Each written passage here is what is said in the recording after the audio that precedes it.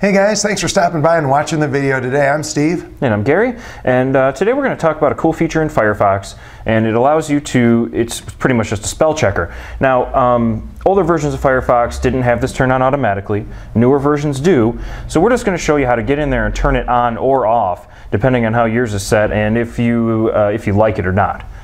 Let's take a look.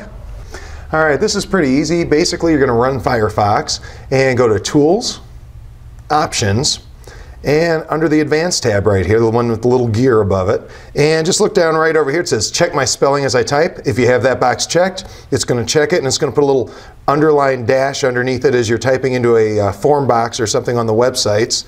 And if you uncheck it, it won't. That's all there is to it. Just hit OK once you have your preferences in there. So there you have it. That's how to change the settings for your spell checker in Firefox. Thanks for stopping by, watching our video today. We sure appreciate you watching these all the time. If, uh, if you're not on our Computer Tips newsletter, make sure you sign up over at worldstart.com. If you're watching this on YouTube, make sure you subscribe to our World Start channel. Check us out on Facebook, and uh, thanks for watching.